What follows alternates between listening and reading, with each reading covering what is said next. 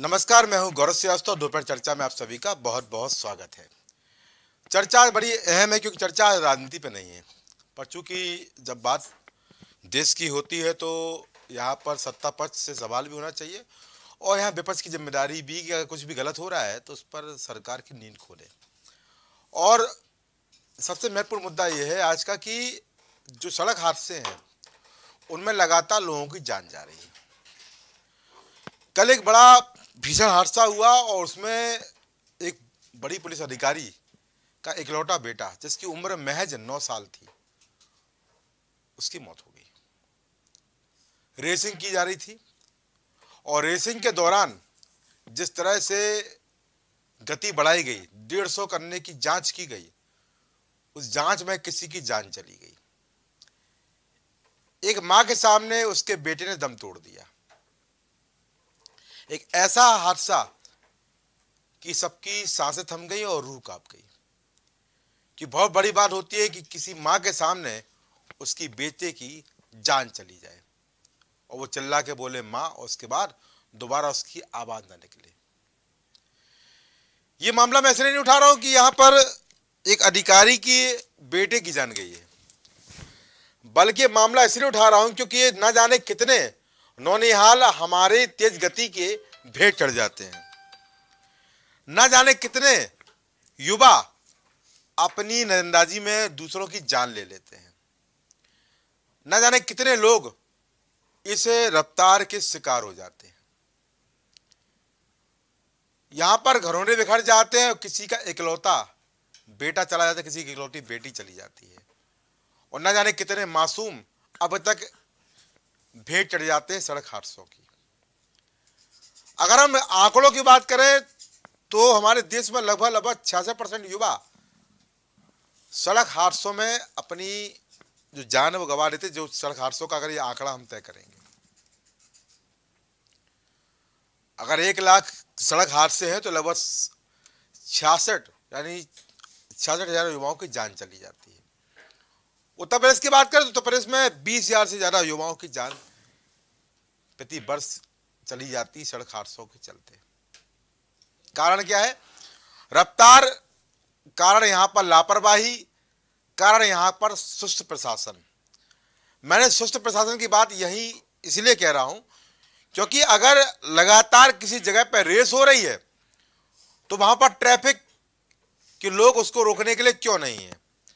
अगर रोड खाली है, एनएच है, या बड़ी है, चौड़ी है रोड तो वहाँ पर रेस करने की अनुमति उन्होंने, उनको किस सिस्टम ने दी है?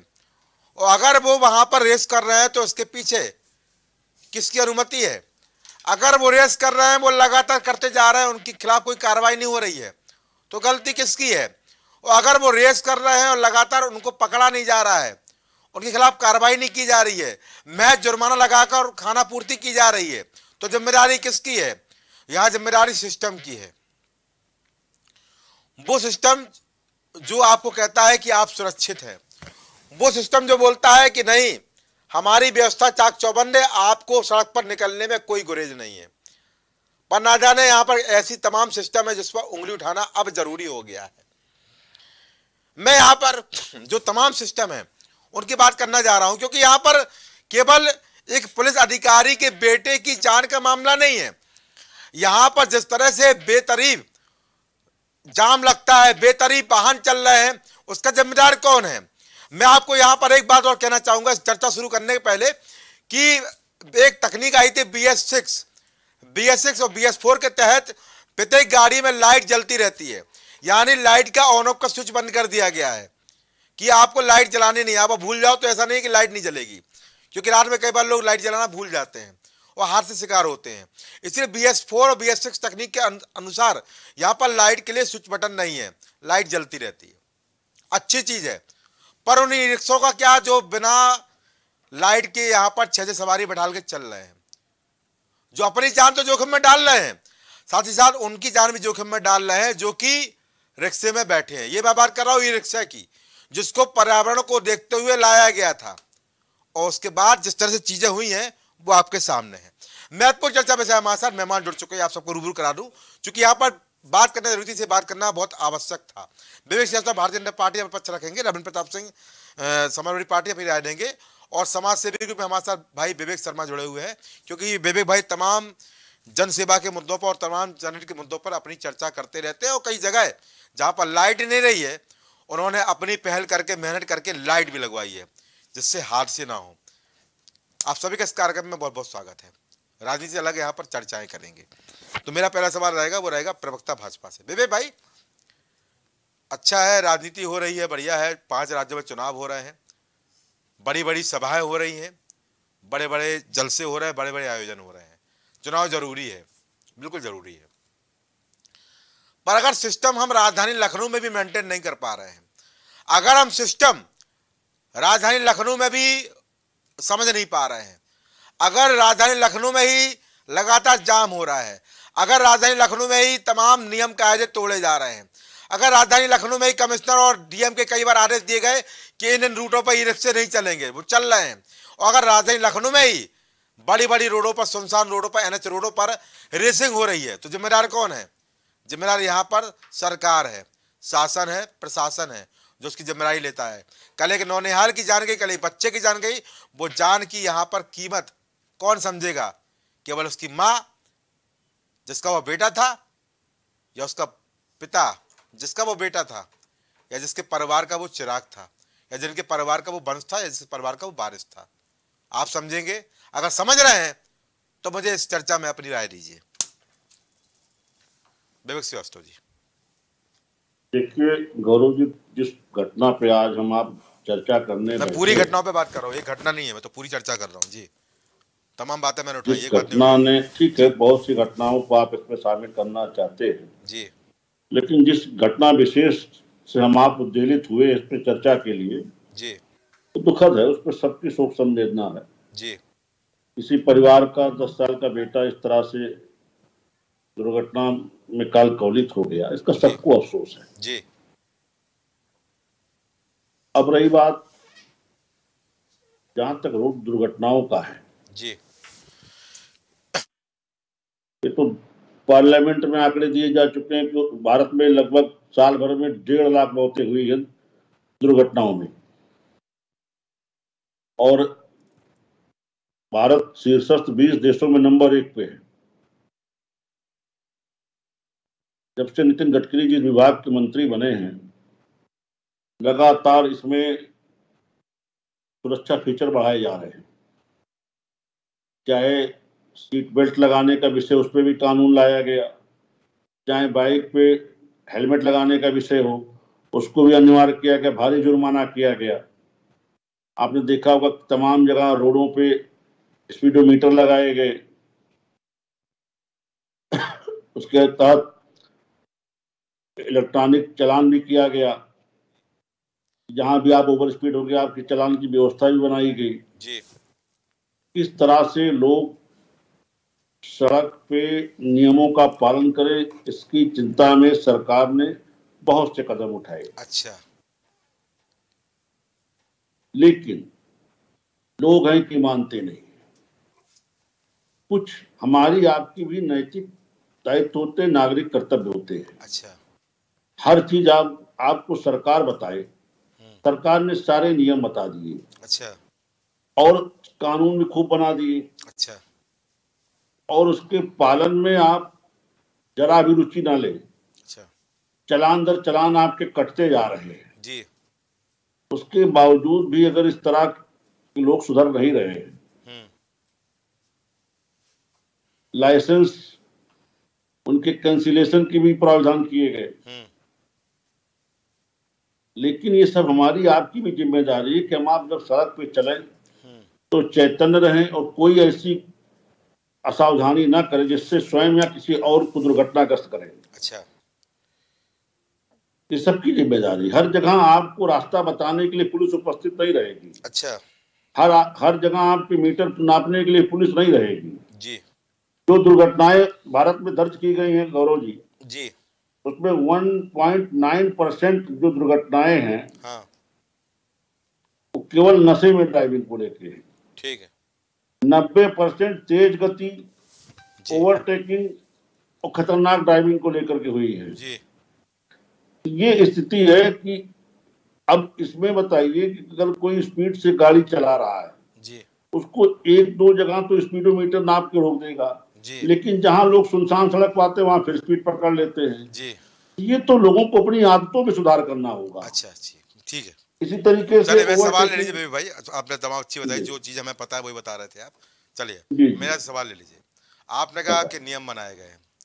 बिल्कुल नियम बनाए गए हैं। सड़क सुरक्षा के नियम में समय समय अभियान भी चलते हैं सड़क सुरक्षा अधिनियम के ठीक है। पर अगर नियम पालन नहीं हो रहा है हाँ। तो उसको पालन कराने की ज़िम्मेदारी किसकी है? मेरी तो है नहीं। सरकार की है, ट्रैफ़िक की है, पुलिस प्रशासन की है। अगर आपको जो मैं बात बता रहा हूँ, आप रात को जाके या सुबह जाके देख सकते हैं कि किस कदर जहाँ पे मैं आपको ये घटना हुई है, जनेश्वर मिश्र पार्क के पास, दस नब्बे चौराहे के पास, अंबेडकर उद्यान के पास, किस कदर से तेज रेसिंग रफ्तार हो, वहाँ पर वो रेसिंग होती है, गाड़ी चलाई जाती है। रफ्तार से वहाँ रेसिंग की जा रही है। और बेअंदाज। तो वहाँ पर अगर केवल चालान से खाना पूर्ति होगी तो वहाँ पर इस तरह की घटनाओं को आप कैसे रोकेंगे? क्योंकि यहाँ पर एक घटना नहीं इसके पहले भी तमाम घटनाएँ हुई हैं कि जहाँ पर रोड खा खास तौर से जनेश्वर मिश्र पार्क के पास, इकाना स्टेडियम की रोड के पास और दस नब्बे के पास बेतरीब गाड़ियाँ लगी रहती हैं। और बेतरीब लोग गाड़ी चलाते हैं। सुबह की बात करें या रात की बात करें? तो अगर आप केवल यहाँ पर नियम कायदे की अपील नैतिकता से ज- से जनमानस से करते रहेंगे तो फिर यहाँ पर उन घटनाओं को उन हादसों को रोकेगा कौन? आप अपील करके रोक लेंगे क्या? गौरव जी जी। इस विषय में जितने अधिकार पुलिस के पास है हाँ। पुलिस चलान के सिवा इसमें क्या कर सकती है? चलिए रोड में अगर आप चलिए। गाड़ी खड़ी चलिए, चलिए, होगी, हो गया, चलिए, उसमें आप- तीन सौ दो का मुकदमा तो नहीं लिखा जाएगा ना? चले ठीक है। बे भाई जान जान होती है। अब 302 बोले या 304 बोले फ़िलहाल किसी के परिवार का चिराग चला गया है। और यहाँ पर केवल जुर्माना देकर आप पुलिस प्रशासन को बचाने का बात क्योंकि तमाम जगह जुर्माने ऐसे भी देखे गए हैं कि वो चला बाइक रहा था और जुर्माना उसको फोर व्हीलर कर दे दिया गया। तो यार जुर्माने की बात मत कहिए ठीक है? देखिए विषय ये हाँ, नहीं है। विषय यहाँ पर ट्रैफ़िक पुलिस अगर जुर्माने के साथ साथ थोड़ा रोकना शुरू कर दे तो शायद इस तरह के हादसे नहीं होंगे नौनियाल अपनी ज़िंदगी जी सकेंगे। वो हमारे देश का आधार है और हमारे देश का भविष्य है। हाँ। गौरव जी गौरव जी। जी। केवल आंकड़े और आंकड़े राजस्व भरने से अलावा थोड़ा काम भी कर लिया जाए रेसिंग को रोक दिया जाए कभी किसी ने जाके आप भी देख लीजिएगा। मैं तो कई बार देखता माँ बाप से भी कभी उनके माँ बाप से भी कहिए कि इतनी रेसिंग बाइक क्यों खरीद हाँ तो आप आप आप कार्रवाई करिए ना। आप क्यों उनके माँ बाप को बुलाइए उनकी काउंसलिंग करिए लड़के काउंसलिंग करिए। हमको यहाँ डिबेट में आकर? जुर्माने की व्यवस्था व्यवस्था और जो है रोना रोके हर- चीज़ आप ये बताइए जो। जो माँ बाप अपने बच्चे को रेसिंग बाइक खरीद के देते हैं हाँ। उनकी ज़िम्मेदारी नहीं है। अभी बीच में अभियान में चलाया गया था कि काउंसलिंग को विवेक शर्मा को याद होगा मेरे ख्याल से। कि जो अगर बिना उसके रेसिंग बाइक चलाएँगे और कुछ करेंगे तो उनके खिलाफ उनके माँ बाप को ही बुलाया जाएगा। अभियान चलते ठप हो जाते हैं, अभियान चलाए पूरे पूरा चलाइए चलिए ठीक है, मैं फिर रविंद्र प्रताप सिंह को लूँगा। रविंद्र भाई, मामला आपके सामने विवेक भाई ने कहा, जुर्माना करती है पुलिस, मेहनत करती है। तो क्या जुर्मानों से इस तरह की घटनाओं को रोक सकते हैं?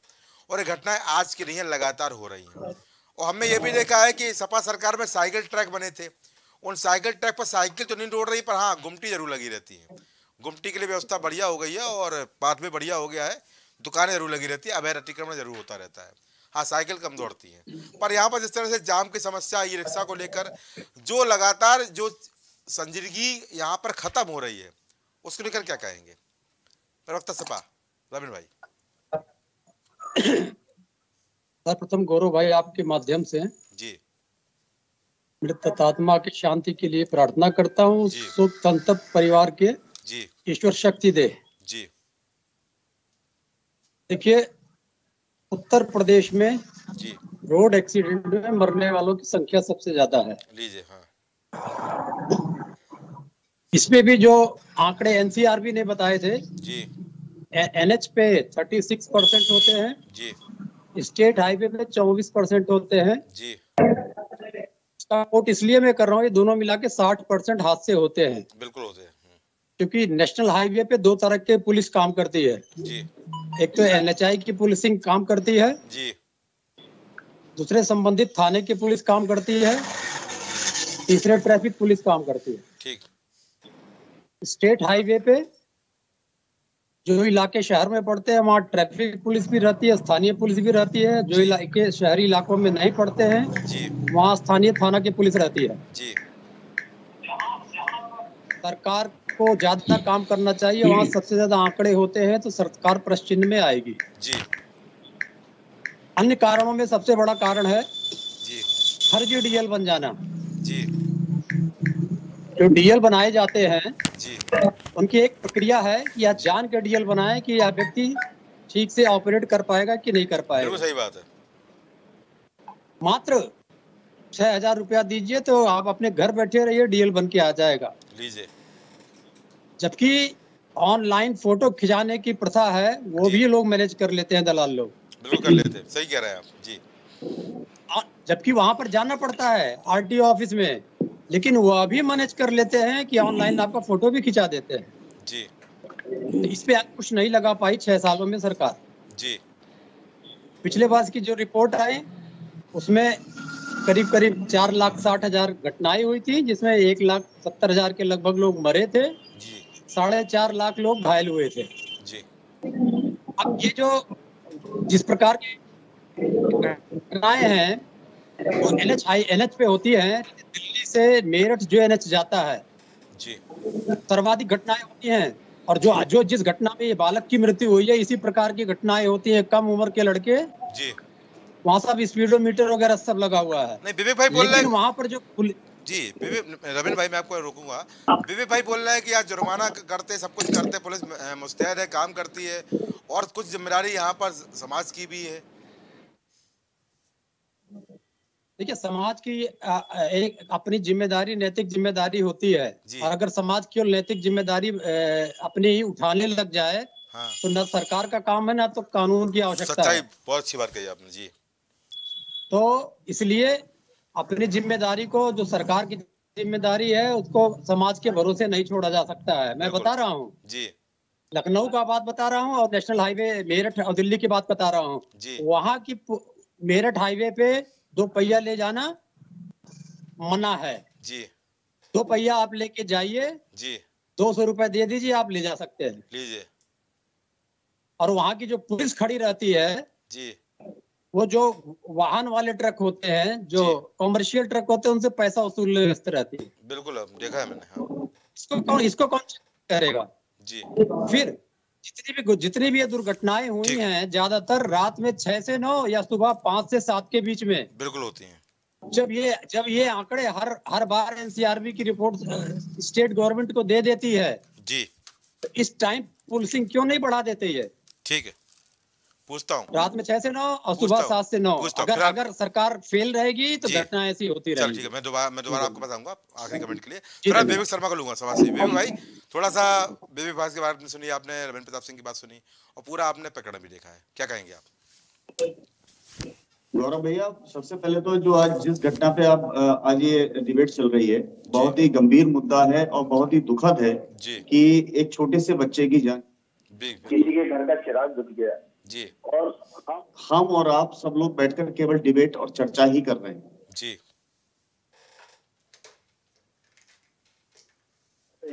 लेकिन किसी भी अधिकारियों को समझ में नहीं आता जी। या दिखाई नहीं देता ये बात हमें समझ में नहीं आ रही। जी। ये क्यों नहीं दिखाई दे रहा? जी बिल्कुल। ये ये पहली घटना नहीं है इससे पूर्व में भी घटनाएँ हो चुकी हैं। जी बिल्कुल।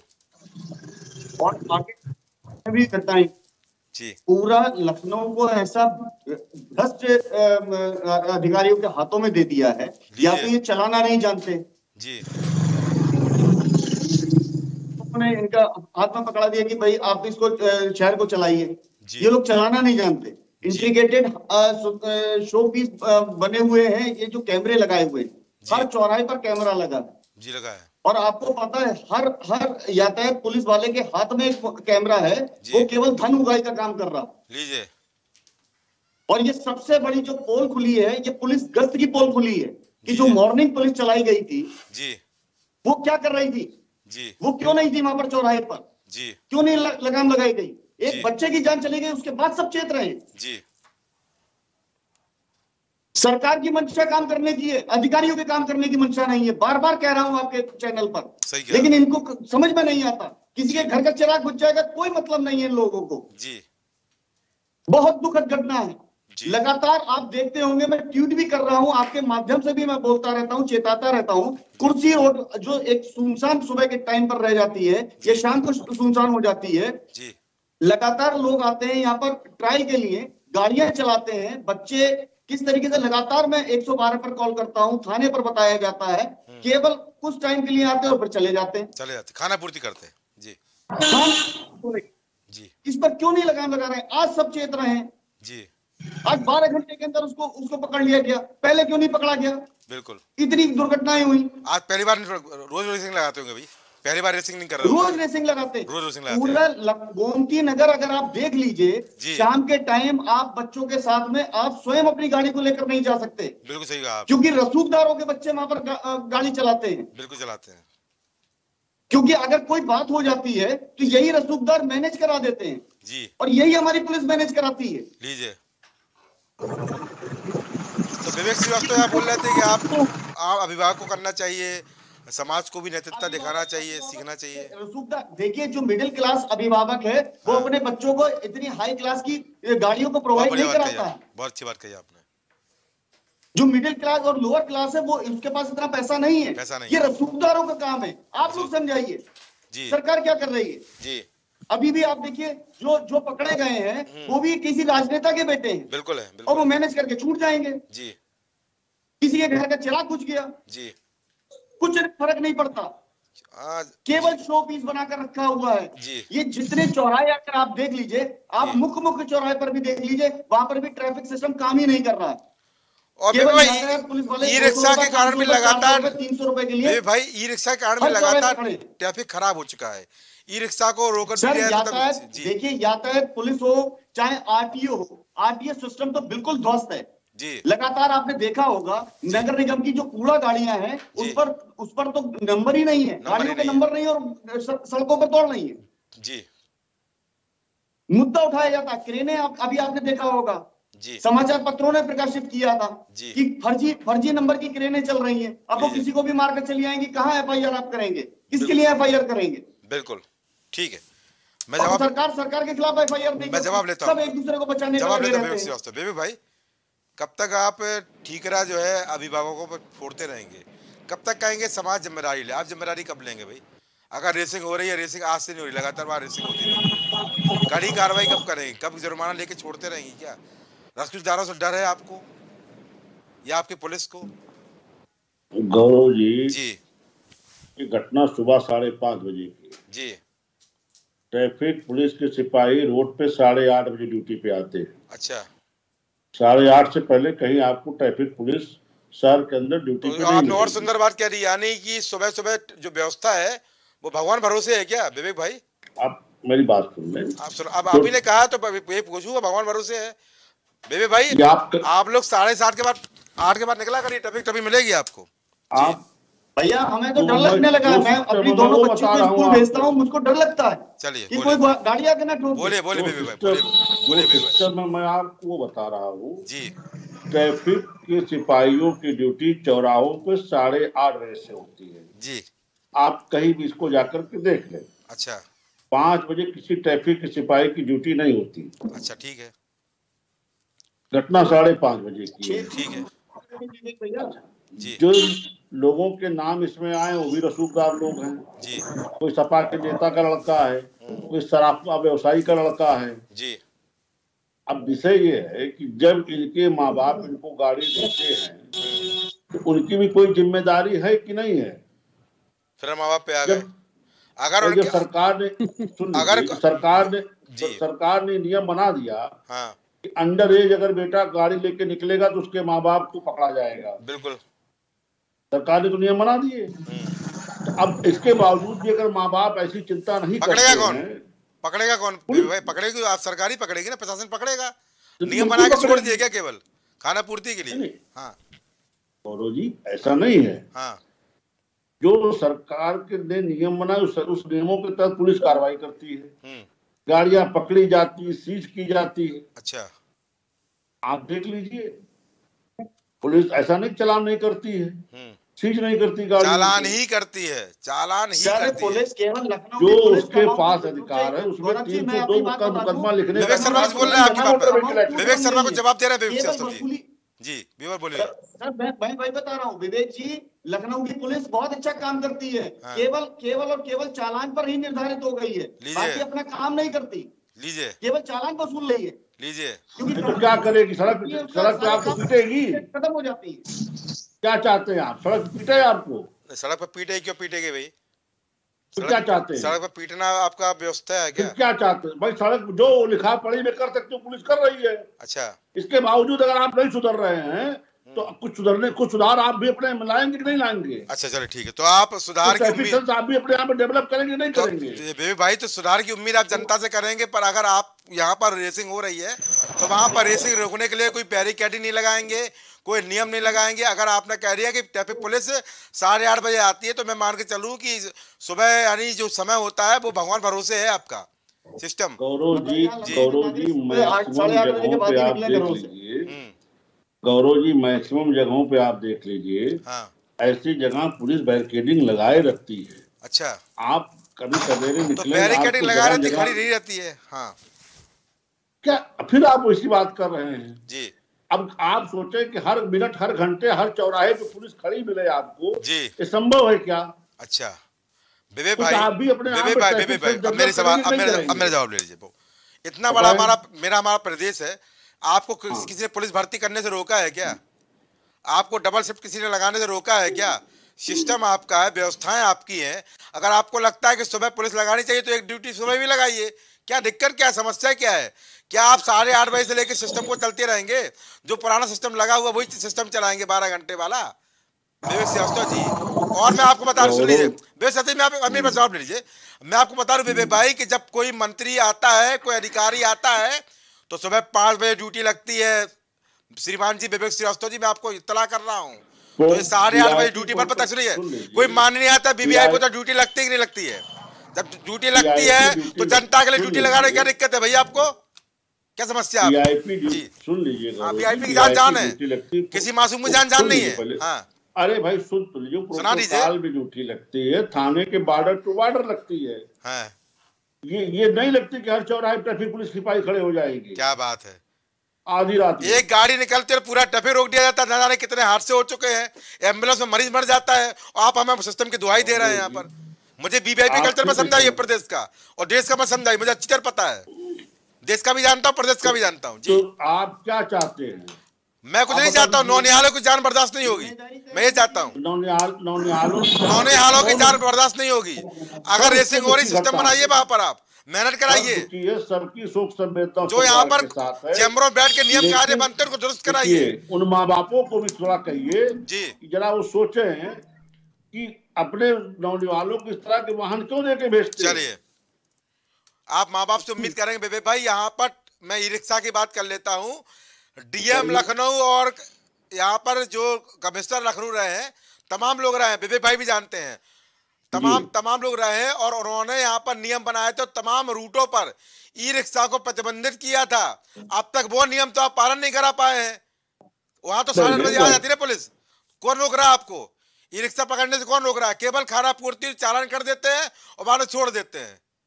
ई रिक्शे से भी हादसे हो रहे हैं। बी एस सिक्स तकनीक लेके आए हैं। गाड़ी दिन, लाइट दिन में भी चलने चाहिए। वही रिक्शे रात को बिना लाइट के घूमते हैं। छह छह सवारी बैठाल कर। सोलह सोलह साल के चौदह चौदह साल के बच्चे चला रहे हैं। वो सिस्टम को नज़र नहीं आता क्या? केवल माँ बाप ही देखेंगे। अब ये भी देखेंगे नहीं। रिक्शे बैठने पहले देखा करेंगे कि रिक्शा चलाने वाला जो लड़का है, वो बालिग है कि नहीं है? ये भी सरकार देखेगी या समाज देखेगा? आपकी ज़िम्मेदारी है। व्यवस्था आपकी ज़िम्मेदारी है। यहाँ पर पल्लू नहीं झाड़ सकते हैं। आखिरी कमेंट ही चर्चा खत्म करता हूँ मैं। आपको नाराज़गी हो गई होगी मुझसे आज? जी। नहीं नहीं कोई नाराज़गी नहीं है गौरव जी। जी। देखिए हर चीज़ के लिए सरकार को कटघरे में खड़ा करना जी। ठीक नहीं है। मैं सरकार की बात नहीं ने कर रहा हूँ मैं तो सिस्टम को सरकार हूँ। उसका पालन करवा रही सिस्टम को कटघरे में खड़ा कर रहा हूँ खुलेआम कर रहा हूँ। मैं तमाम आर दिखा रहा हूँ भाई। जवाब नहीं आपके पास। ना डीएम ना डीएम ना कमिश्नर लखनऊ के पास। बोलिए। बहुत देखिए आप घूम फिर अभी अभी रिक्शा पे आ गए। जी। अरे भाई ई रिक्शा है ही गरीबों के लिए। वो बेचारे गरीब अपना जीवन पार्जन अरे गरीब गरीब नहीं तो कहीं भी कुछ आप क्या? टारगेट कर रहे हैं। अरे गरीब है तो नियम कार्य तोड़ेंगे क्या? सोलह साल का लड़का चला गया क्या? नहीं सोलह साल का बिना तो लाइट की गाड़ी चलाएँगे क्या? गरीब है तो। सोलह साल का लड़का ये गरीब तो गरीब की आड़ में आप व्यवस्थाओं को पनाह मत दीजिए। नहीं नहीं अगर कहीं। अगर कहीं मेरा आरोप कर रहा हूँ मैं आपको यहाँ पर। आप गरीब बोलकर यहाँ व्यवस्थाओं को पनाह मत दीजिए। अब व्यवस्थाओं को मैं आपको तमाम वीडियो भेज दूँगा। बिना लाइट की चलते दिखा देंगे आपको। अगर कहीं ऐसी कोई शिकायत उस पर कार्रवाई की जाएगी कार्रवाई हो हमारी तो- हम- हमारी तरफ़ से तो ये है कि जो डीएम इसके पास वही चला चले वो भी देख लेते हैं। मैं डिबेट भेजूँगा यहाँ पर। चले ठीक है। रविन भाई आपका कमेंट लूँगा। रविन भाई बोलिए। अगर उत्तर प्रदेश पुलिस को जी। पुलिसिंग ना आती हो जी। और ट्रैफ़िक सुधारना ना आता हो तो एक हैं जी। दुर्ग ज़िले के एसएसपी जी। अभिषेक पल्लव। जी। उनका वीडियो देख ले डीजीपी साहब मुख्यमंत्री जी। जी। किस तरीके से ट्रैफ़िक व्यवस्था सुधारी जाती है? एसएसपी किस तरीके से उतर के सड़क पे ट्रैफ़िक व्यवस्था को सुधारता है? जी। उस चीज़ को देख लें। और रही बात पुलिसिंग जो होती है 24 घंटे के लिए होती है। आठ साढ़े आठ बजे से बात नहीं किया जा सकता है न समाज पे लादा जा सकता है। ठीक है। उत्तर प्रदेश के डीजीपी को किसी भी हालत में छत्तीसगढ़ भेज देना चाहिए दुर्ग ज़िले में सीखने के लिए। ठीक है। और फिर आके वहाँ पर यहाँ की पुलिसिंग को सुधारे जिससे हमारे नौनिहाल बच सके ठीक। और इस प्रकार की दुर्घटनाओं को रोका जा सके। जी धन्यवाद। ठीक है विवेक शर्मा आखिरी कमेंट आपका एक मिनट बोलिए। देखिए गौरव जी सबसे पहले तो ये पुलिसिंग और यातायात पुलिस को अपने जिम्मेदारियों का चयन करना चाहिए कि हमको क्या करना है। हमको केवल खड़े होकर फ़ोटो खींचकर और वसूली करनी है या लोगों को सुधारना है। सिस्टम में सुधार लाने की बहुत ज़रूरत है और आरटीओ आरटीओ भी ध्यान दे। जिस जिस जगह पर बिना नंबर की गाड़ियाँ घूम रही हैं तत्काल उनको सीज कर दे। जी। रसूखदारों के आगे नतमस्तक ना हो यहाँ के अधिकारी। बिल्कुल बिल्कुल। क्योंकि जितने भी अधिकारी हैं कहीं रसूखदारों का नाम आ जाता है नतमस्तक हो जाते हैं और ये जो घटना हुई है इसमें जो भी रसूखदार अगर अपना कोई ठीक है आप सभी का इस कार्यक्रम में जुड़ने के बहुत धन्यवाद। तो चर्चा बड़ी महत्वपूर्ण चर्चा यहाँ पर जिस तरह से सामने आई यहाँ पर प्रवक्ता बीजेपी द्वारा एक ही बात कही गई कि यहाँ पर ज़िम्मेदारी समाज की है। मैं मानता हूँ ज़िम्मेदारी समाज की है, पर अगर समाज यहाँ पर सुनवाई नहीं कर रहा है, या समाज इसको लेकर गंभीर नहीं तो ज़िम्मेदारी आपकी कि नियम जो आपने बनाए हैं, उनका पालन कराया जाए। किसी भी नौनिहाल की जान हो या युवा की जान हो, वो हमारे देश के भविष्य हैं। और उनके साथ खिलवाड़ होगी, उनकी जान यहाँ पर हादसों में जाएगी, अपनी खुशी में जाएगी रेसिंग में जाएगी, रफ्तार में जाएगी तो यहाँ पर सवाल हम जैसे खबर भी जबर उठाएँगे। आज भी उठाया है और यहाँ पर मैं सिस्टम को बदलने के लिए, बल्कि सिस्टम को यहाँ पर परिवर्तित करने की बात कर रहा हूँ। अगर बेहतर करेंगे, नियम कायदे बनाएँगे, उनको पालन कराएँगे रेसिंग को रोकेंगे, जहाँ पर इस तरह की घटनाएँ हो रही हैं, जहाँ पर इस तरह की रेसिंग होती हैं, वहाँ पर बैन लगाएँगे तो शायद नौनिहाल भी जीवित रहेंगे और हमारा समाज भी यहाँ पर सुरक्षित रहेगा। केवल यहाँ पर आरोप सिस्टम को लगाने से या यहाँ पर केवल आरोप अभिभावकों पर लगाने से काम नहीं चलेगा। यहाँ पर सिस्टम सुधारना भी होगा, मेहनत के साथ में भी, जज्बे के साथ भी और कड़ाई के साथ भी, क्योंकि जब तक कड़ाई नहीं होगी, तब तक यहाँ पर बेहतर व्यवस्था की नींव भी नहीं पड़ेगी। तो आज की चर्चा में इतना ही। नमस्कार।